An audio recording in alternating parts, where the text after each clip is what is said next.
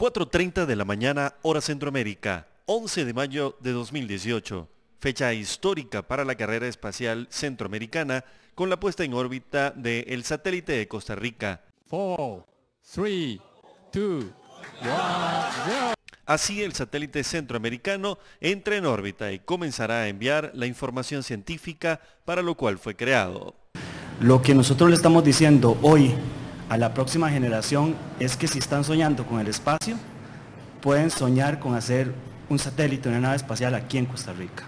La agencia espacial japonesa fue la encargada de orbitar el módulo TICO, que llegó el 4 de abril a la Estación Espacial Internacional, luego de ser lanzado al espacio desde Cabo Cañaveral en la Florida, Estados Unidos. One and zero.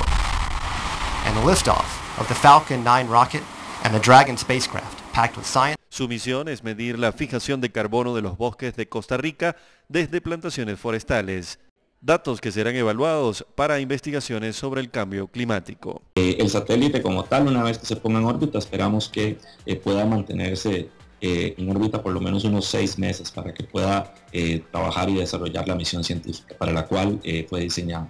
Lo que hace básicamente es retransmitir información de un sistema en tierra que fue desarrollado y construido por el Tecnológico de Costa Rica, el cual eh, lo que hace es que en, los, en la zona norte del país, en una zona eh, que es una parcela de prueba, ahí eh, se han instalado una serie de sensores que se llaman dendrómetros.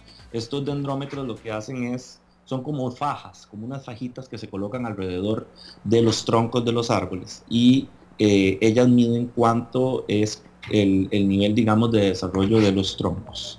Luego que, eh, cómo van creciendo a lo largo, digamos, del tiempo. Entonces, esta información se eh, correlaciona a cantidades de CO2 que eh, está, el crecimiento, digamos, de la masa forestal, de la biomasa, eh, va a asociarse a una cantidad, digamos, de CO2 que se eh, secuestra en, la atmósfera. Entonces, junto al satélite centroamericano, la Estación Espacial Internacional también colocó en órbita otros dos satélites pequeños de Kenia y de Turquía.